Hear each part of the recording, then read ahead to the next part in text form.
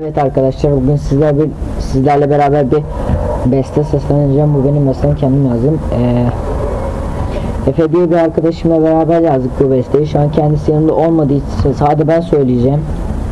İyi seyirler, iyi dinlemeler. Kaydırıyorum kaymıyor. Bu aşk bana yetmiyor. Sevseydin dönerdin Sisler içinde yanardım. Arabanın içinde Kavruldum ben sana. Yanardım aklımın içinde bin cümle. Cayı cayı söylerdim Gönlünün içine Bakışların içinde. Yanardım senin için.